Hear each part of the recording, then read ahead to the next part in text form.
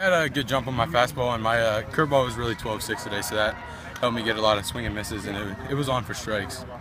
So that was always that's good. Talk about getting the lead with that home run. Gave you a little room to work with. It was big. Um, I, it gave me a lot of more confidence. You know, always pitching with the lead, it always helps.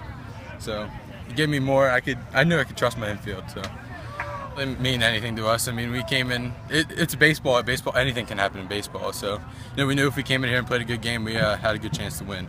So. How much did you know about then coming in? Um, not not a lot. I mean, I knew uh, their catcher Riley Workman because we play a travel ball with them. But other than that, I really we really didn't know anything about them. We knew they we knew they were obviously good. I mean, they had a good record there, the one seed. So that's pretty much all we knew about them. Did you know you had a no hitter?